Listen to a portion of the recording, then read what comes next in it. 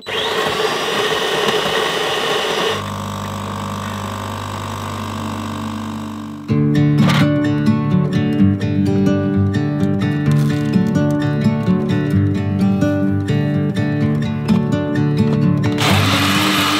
always start the morning with a smoothie.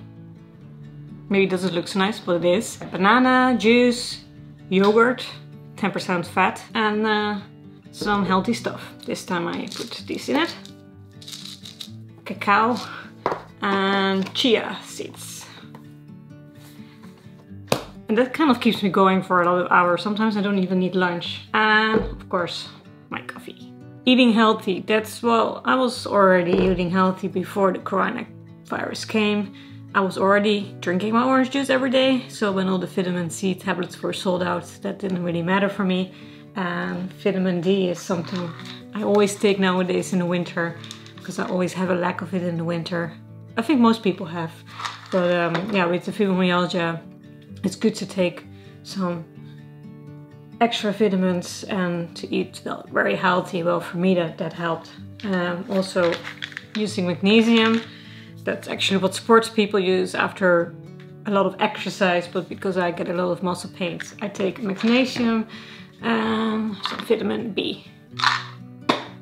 I didn't just try this, it was really, uh, I talked about this to the doctor, to a rheuma, uh, rheuma specialist, rheumatologist, who also uh, is specialist in in nature. How do you say that? A nature doctor? A nature doctor. A nature doctor. I like that. So um, yeah, this is how I start today. And oh, the, the, the the vitamins I always take them in the evening. So and of course I take my painkillers, the amitriptyline. Oh, and before I forget, it would be great if you can subscribe and if you if you put that little bell on, you will get notifications every time I upload a vlog. And it would be also really nice if you can like this video. Because of course, like I'm sharing the videos on Facebook and people I know.